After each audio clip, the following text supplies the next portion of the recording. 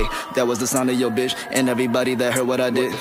I don't like being so ignorant, but you gon' make me go back to my bullshit again. Uh, I be riding right down Melrose with a thicky name, bro. Sitting on my lap, but she just tryna be my friend, though. Bumping on the XO when I'm about to call my ex. So, mommy, daddy home, I barely see them like a rain.